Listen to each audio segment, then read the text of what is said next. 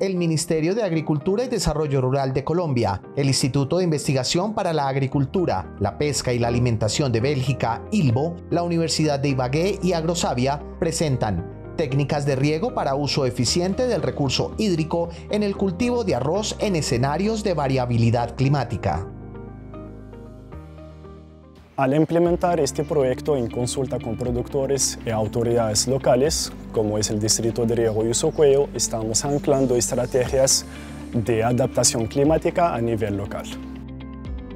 Estamos evaluando nuevas estrategias de riego como el sistema de riego MIRI, que es el riego por múltiples entradas, y el riego alternado secado y mojado, que permiten utilizar de manera más eficiente el agua disponible en el distrito de riego.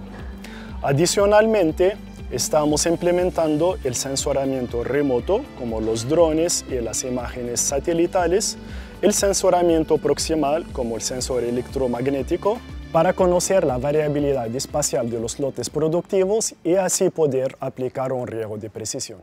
Una de las mayores preocupaciones en Colombia es la influencia del cambio climático en el recurso hídrico. El arroz como alimento fundamental para la seguridad alimentaria es uno de los cultivos que más agua consume.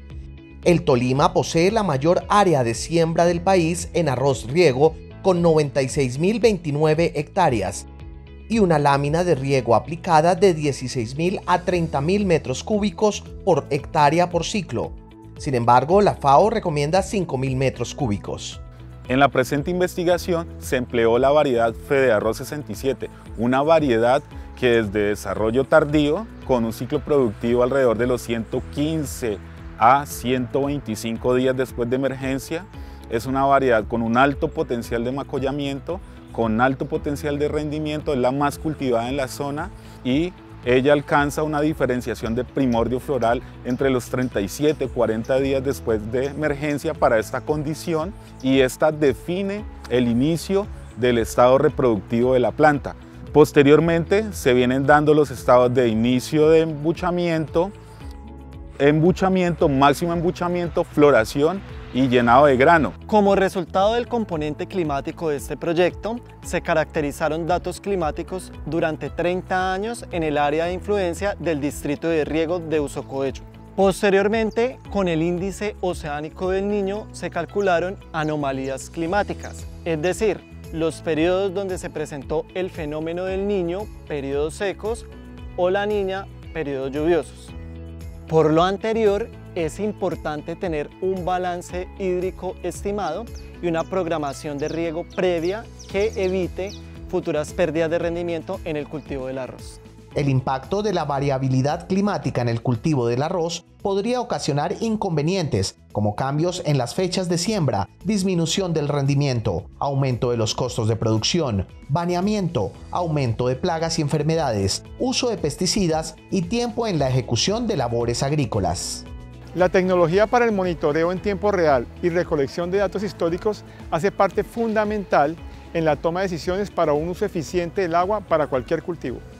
En el proyecto se observó que el uso de las técnicas de riego MIRI por múltiples entradas y riego seco húmedo AWD permite reducir los consumos de agua en el cultivo de arroz hasta en un 54% sin afectar el rendimiento, logrando una mayor productividad hídrica, ya que pasamos de 2 metros cúbicos por kilogramo de arroz a 1 metro cúbico por kilogramo de arroz paddy. El riego convencional se realiza por lo general por una única entrada en la parte superior del lote y requiere de un operario regador especializado. En el punto de entrada de agua al lote se generan grandes pérdidas por percolación teniendo en cuenta que el suelo ya está saturado y sigue entrando agua. El riego por múltiples entradas, MIRI por sus siglas en inglés, se realiza mediante una manguera de polietileno que atraviesa el lote de forma perpendicular a los caballones y presenta unas ventanillas para regar de forma simultánea todo el lote o solo aquellas partes que se requiera. La utilización de la tecnología de moje y secado alternado AWD por sus siglas en inglés, involucra la práctica de secar periódicamente los campos y volver a inundarlos a su nivel óptimo de agua. Es una técnica útil para usar más eficiente el agua, reducir las emisiones de gases de efecto invernadero y disminuir los costos de producción. Las técnicas de riego por múltiples entradas y riego alternado moje y secado permitieron reducir el consumo del agua en el cultivo del arroz en comparación con el riego convencional sin afectar el rendimiento del cultivo. Con el AWD y MIRI logramos obtener menos consumo de agua comparado con el riego convencional, logrando tener el mismo rendimiento. Este sistema nos ayudó a reducir el tiempo en mano de obra y, puedo regar mucho más área en menos tiempo. Esto es una buena alternativa para ser más eficientes en el uso del agua. Agrosavia, Corporación Colombiana de Investigación Agropecuaria. Colombia, potencia de la vida.